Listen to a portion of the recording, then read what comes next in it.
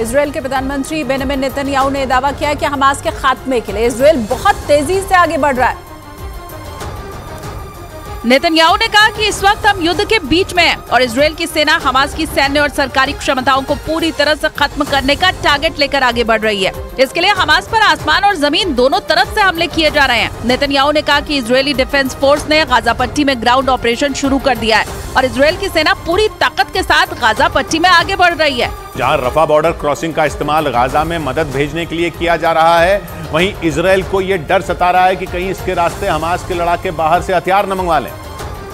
और अगर वो ऐसा करने में कामयाब हो गए तो इसराइल की मुश्किलें बढ़ सकती हैं। कुछ दिनों पहले ही इसराइल की सेना ने एक वीडियो जारी किया था जिसमें उसने ये दावा किया कि एक अनाज के बोरे में हथियार भरकर हमास के लड़ाकों तक पहुँचाने की कोशिश की गई। इसीलिए इसराइल की सेना रफा बॉर्डर क्रॉसिंग के ज़रिए पहुँचने वाली मदद पर नज़र रख रही है। क्योंकि अगर एक बार गलती से भी और ज़्यादा हथियार हमास के लड़ाकों के हाथ लग गए तो जंग और ज़्यादा भड़क सकती है। इसीलिए इसराइल की सेना पूरी तरह सतर्क है और वहाँ से गुजरने वाली हर गाड़ी की बारीकी से तलाशी ले रही है।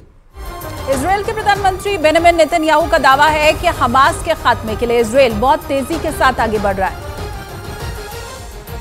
नेतन्याहू ने कहा कि इस वक्त हम युद्ध के बीच में हैं और इसराइल की सेना हमास की सैन्य और सरकारी क्षमताओं को पूरी तरह से खत्म करने का टारगेट लेकर आगे बढ़ रही है। इसके लिए हमास पर आसमान और ज़मीन दोनों तरफ़ से हमले किए जा रहे हैं। नेतन्याहू ने कहा कि इजरायली डिफेंस फोर्स ने गाजा पट्टी में ग्राउंड ऑपरेशन शुरू कर दिया है और इसराइल की सेना पूरी ताकत के साथ गाजा पट्टी में आगे बढ़ रही है। दावे को साबित करने के लिए इसराइल की सेना ने बाकायदा एक वीडियो भी जारी किया।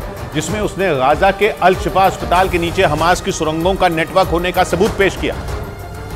और यह आरोप लगाया कि हमास ने गाजा के अस्पतालों और स्कूलों की आड़ में आतंक का एक बहुत बड़ा चक्रव्यूह रचा। मतलब उसने ज़मीन के ऊपर अस्पतालों, मस्जिदों और स्कूलों की इमारतें बनाई, लेकिन उनके नीचे सुरंगों का बहुत बड़ा जाल बिछा दिया। इसराइल ने जो वीडियो जारी किया उसमें बाकायदा इन सुरंगों में घुसने के रास्ते वहाँ हथियार लाने के लिए बने अड्डे और यहाँ तक के हमास के मीटिंग रूम तक दिखाए गए। इसराइल ने आरोप लगाया कि इसके लिए जानबूझकर हमास ने स्कूलों और अस्पतालों को चुना। क्योंकि हमास ये अच्छी तरह से जानता था कि अगर इसराइल ने उसके अड्डों पर हमला बोला तो उसके लड़ाके इन्हीं अस्पतालों और स्कूलों की आड़ में अपनी जान बचा लेंगे। इसराइल के मुताबिक हमास ने ये सब सोची समझी साजिश के तहत किया क्योंकि उसे इस बात का भरोसा था कि इसराइल अस्पतालों और स्कूलों जैसी जगहों पर कभी वार नहीं करेगा।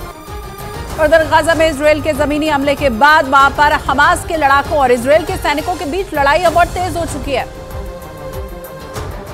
और दोनों तरफ़ से जारी पलटवार के बीच गाजा का उत्तरी इलाका दहल उठा, क्योंकि इसराइल की मीडिया के मुताबिक वहाँ की सेना ने गाजा के उत्तरी सिरे के दोनों छोर पर ताबड़तोड़ हमले किए और हमास के ठिकानों को मिटाते हुए इसराइल के टैंक वहाँ कई इलाकों में घुस गए। जिसके बाद हमास ने भी इसराइल के हमलों का जवाब देते हुए जोरदार पलटवार किया और गाजा के उत्तर पूर्वी इलाके में इसराइल के टैंकों को घुसने से रोकने का दावा किया।